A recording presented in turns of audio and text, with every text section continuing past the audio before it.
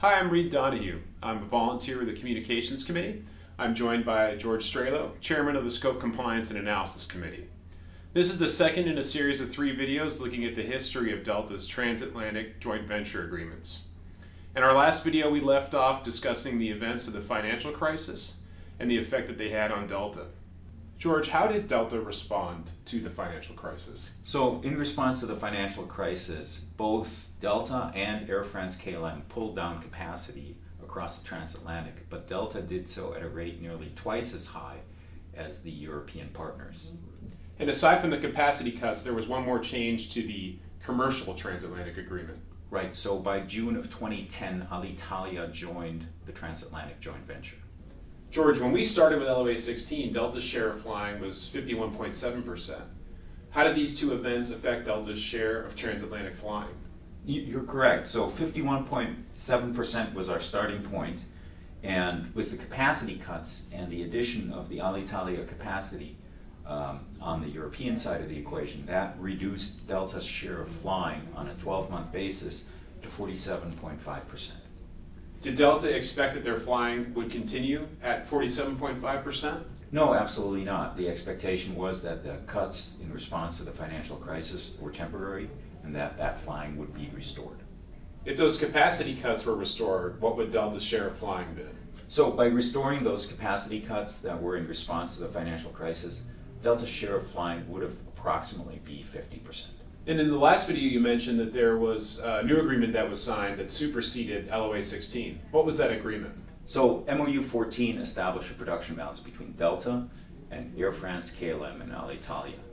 And with the cuts that were brought in for in response to the financial crisis, with those cuts restored, it brought Delta's production balance to 50%, and the balance for KLM, Air France, and Alitalia also to 50%.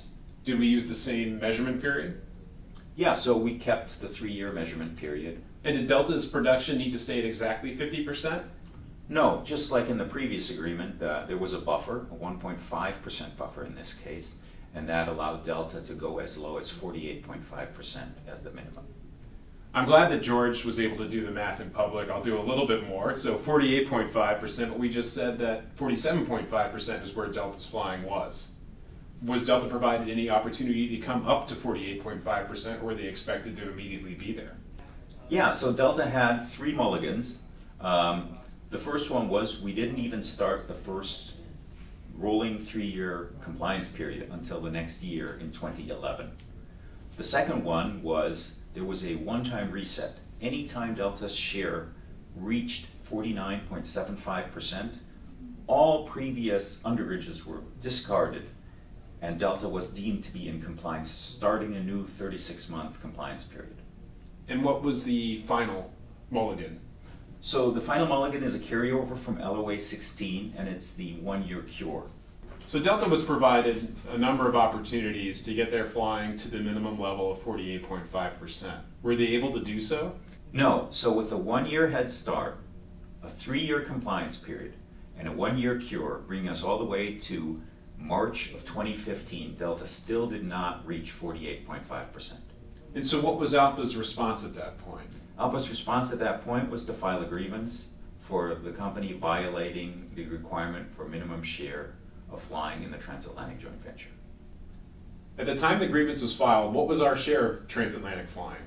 So, when grievance 1501 was filed in 2015, our share of transatlantic flying in that joint venture was 46.8%, below the 48.5% required.